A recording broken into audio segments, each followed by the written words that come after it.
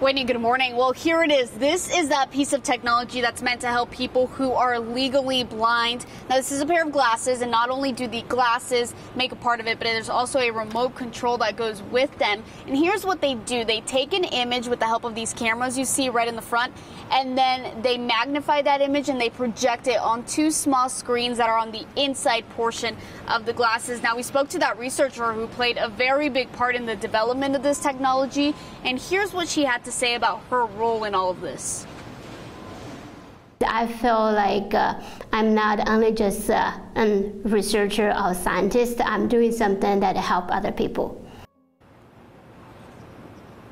Now, Hong Hua, she did a lot of the research for this technology. The actual glasses, though, they were developed by a company called eSight. That company is based in Canada, and they've been able to not only give some of these glasses, some of this technology to folks here in the United States, but also to people in Canada and other countries all across the world. We do have more information on this technology on our website. That's at KGUN9.com.